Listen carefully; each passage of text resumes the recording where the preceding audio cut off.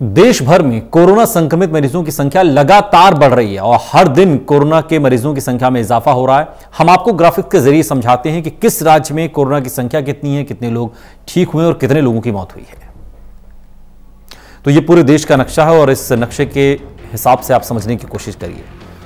पंजाब में 277 केस हैं, हरियाणा में दो केस अब तक हो चुके हैं, दिल्ली में दो हज़ार तीन सौ छिहत्तर केस हैं मध्य प्रदेश में एक हज़ार आठ सौ बावन, महाराष्ट्र में छः हज़ार चार सौ तीस केस, केरल में चार सौ अड़तालीस, तमिलनाडु में एक हज़ार छः सौ तिरासी केस, तेलंगाना में नौ सौ चौरासी केस, पश्चिम बंगाल में 514 उत्तर प्रदेश में 1604 राजस्थान में एक हज़ार नौ सौ चौंसठ केस हो गए हैं।